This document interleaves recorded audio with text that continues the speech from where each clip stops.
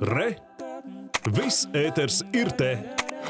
Из 100 депутатов Сейма сегодня предоставить годный ковид-сертификат смогли 95. Это значит, что остальные должны либо иметь негативный тест, либо не участвовать в заседании. Один из таких депутатов, а именно Алтис Губзом, стал причиной, почему первое очное заседание пришлось вновь переносить в онлайн. Он пришел на заседание в перерыве и отказался предоставлять результаты тестирования.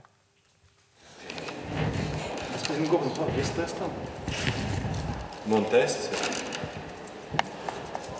Скажите. negatīvs, var parādīt. Gribat redzēt? 2. septembris. Negatīvs. Спрашивают, почему вы не показали на входе. Tāpēc ka, tāpēc, ka man nav jāatskaitās. Es esmu saimnes deputāts un man neviens nevar pieskarties vienkārši. Un viss.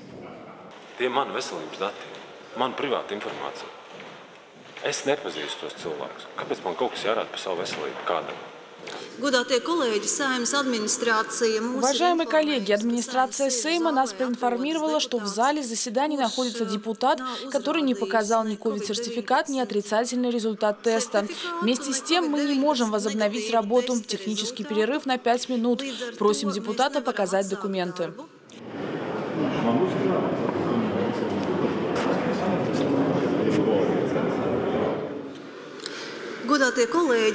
Уважаемые коллеги, мы собрались Сейме, Saeimā, чтобы выполнить свои обязанности очно. Эту работу мы начали очно, но видим, что конкретный депутат возражает против работы очно. Сейм продолжит работу, но продолжит ее в системе e-Сайма.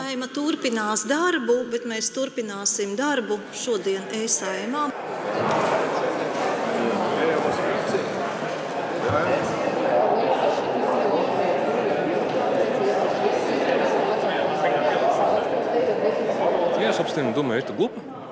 А, а, Практически мы сейчас уже на- начинали, вернулись обратно в нормальную работу, и кто-то просто хотел себе пиар сделать и не показывать тест, который он, как он сам говорит, его есть.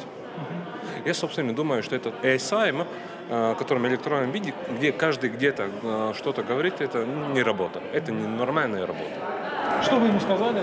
Ну, я сказал, что я, собственно, думаю, что он неправильно сделал. Сергей Герасимов, Кришьянис Лейт из Латвийское телевидение.